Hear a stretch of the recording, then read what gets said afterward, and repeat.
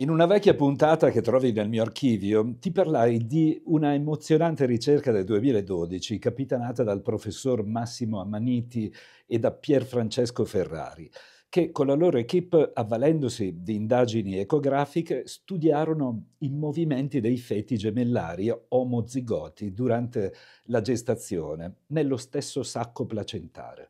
in particolare tra la quattordicesima e la diciottesima settimana. Quello che riuscirono a dimostrare è che il feto ha una naturale propensione a considerare l'altro un oggetto speciale, da non ferire, una spinta al rispetto e alla cura dell'altro da sé. Grazie a questa ricerca possiamo quindi confermare, a distanza di circa 2300 anni, che Aristotele aveva colto la nostra essenza quando sosteneva che l'essere umano è un animale sociale e forse potremmo chiederci perché ci stiamo sempre più allontanando da questa naturale propensione e perché molti di noi pensano solo ed esclusivamente al proprio benessere, a prevaricare gli altri, ad avere ragione a ogni costo, a discriminare chi è diverso e compagnia bella. Oggi voglio raccontarti la storia di un gioco molto famoso, che sicuramente hai fatto più di una volta con gli amici e i parenti, come è capitato a me, e credo sia interessante conoscerla.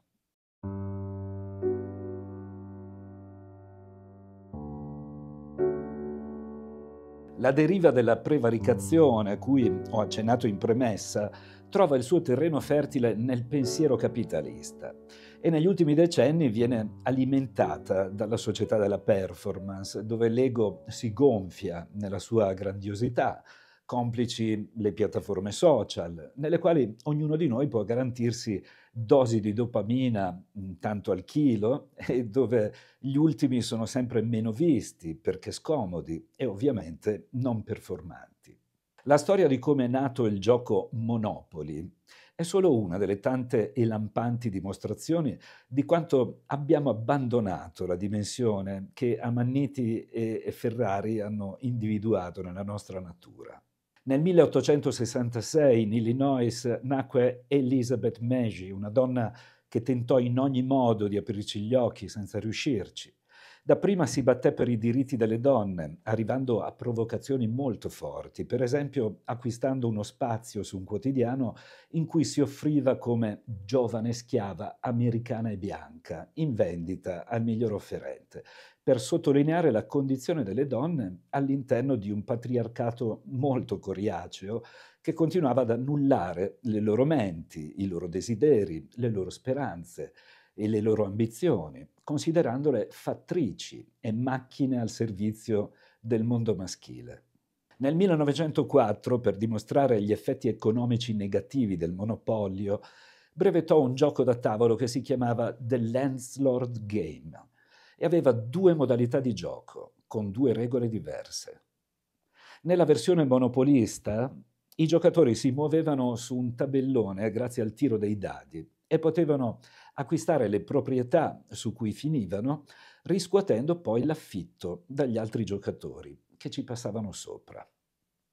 In questa versione, che potremmo definire anche a somma zero, vinceva chi riusciva a mandare in bancarotta gli altri. Nella versione della prosperità, invece, ogni volta che un giocatore acquistava una proprietà, guadagnavano tutti, grazie alla tassazione che il proprietario si autoimponeva per fini sociali. E il gioco finiva quando il giocatore che aveva iniziato con meno soldi riusciva a raddoppiare il capitale. Ovviamente la Meiji, grazie alla versione Prosperity, voleva dimostrare i due effetti diversi che queste regole avevano sull'esito finale del gioco. Il primo verteva su un accaparramento esclusivamente personale, con una ricaduta negativa su tutti gli altri giocatori che finivano in bancarotta. Il secondo arricchiva tutti e non c'era un unico vincitore.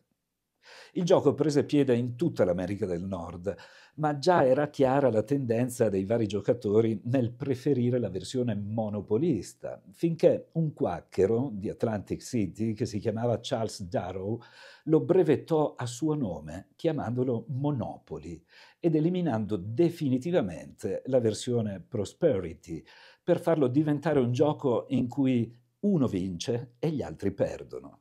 La storia successiva parla da sola. Oggi viviamo in un enorme monopoli dove continua a imperare la legge del più forte, il gioco a somma zero, che ormai si è insinuato in quasi ogni ambito della vita, dove i furbetti sgomitano per ottenere sempre di più, a discapito di chi questa indole non ce l'ha. In molte aziende, al di là di riempirsi la bocca con parole di moda come empatia, etica, sostenibilità, benessere, equilibrio tra lavoro e vita privata, l'idea di prosperity è profondamente latitante e moltissime persone si trovano a lavorare ogni giorno a testa bassa, in ambienti in cui la fiducia non esiste, dove i più sgomitano per raggiungere obiettivi personali e primeggiare in un'atmosfera che ha molto a che fare con l'adagio latino morte tua, vita mia. In molte coppie l'andazzo è lo stesso e i partner cercano il monopolio più che la collaborazione. Inseguono l'idea di aver ragione più che lo stare bene in due e lo stesso accade troppo spesso anche tra figli e genitori. Non ci si lascia per una lite sporadica, ma perché è venuta meno la fiducia nel futuro della relazione. Siamo arrivati a un burnout sociale, siamo impauriti e affaticati dall'instabilità lavorativa, dal disgregarsi delle reti familiari, dall'aumento della solitudine, dalle disparità sociali, dalla discriminazione di genere, di razza, di credo, dalle tifoserie, dall'odio sparso ovunque, dai leoni da tastiera che non mancheranno sotto questo video. I vecchi sono passati da saggi a soggetti inutili perché non produttivi, vivono ai margini e troppo spesso vengono abbandonati da una società che non ha tempo per loro e sono visibili solo se continuano a consumare, a comprare, perché allora sono buyer personas e il marketing li considera. Una ricerca universitaria ha dimostrato che a Osaka i vecchi che grazie a programmi intergenerazionali vengono coinvolti in varie attività nelle quali passano alle nuove generazioni qualcosa di grande valore che si chiama esperienza, sono più ottimisti, e vivono più a lungo di quelli parcheggiati nelle case di riposo che a volte finiscono per lasciarsi morire di fame. L'obsolescenza programmata che ormai riveste qualsiasi prodotto in commercio è diventata un manto su ognuno di noi. Come è più conveniente cambiare la lavatrice piuttosto che ripararla, così il lavoratore senior è considerato lento e costoso e deve essere sostituito. Il punto è che se consideriamo i vecchi solamente come custodi o babysitter, se smettiamo definitivamente di ascoltarli e di convocarli, prima o poi toccherà a noi. E torniamo a come ci ha definiti Byung-Chul Han, il filosofo di Seoul che insegna all'Università di Berlino, quando nel 2013 ha detto che siamo dei sé sparsi, delle monadi che vagano in mezzo a mille facce, ma in fondo sono sempre più sole. Te lo consiglio, il suo libro, puoi leggerlo in un'ora e forse può aiutarti ancora meglio a capire quanto il solipsismo non sia la strada giusta. Si intitola Nello sciame e puoi trovarlo sia in libreria che online. In fondo, nella storia dell'uomo, al di là del monopoli, ci sono sempre stati i Charles Darrow che hanno prevaricato le Elizabeth Maggie. E non è un caso se i dissidenti come lei non vengono ascoltati e i Gandhi si beccano i colpi di pistola. A sabato prossimo.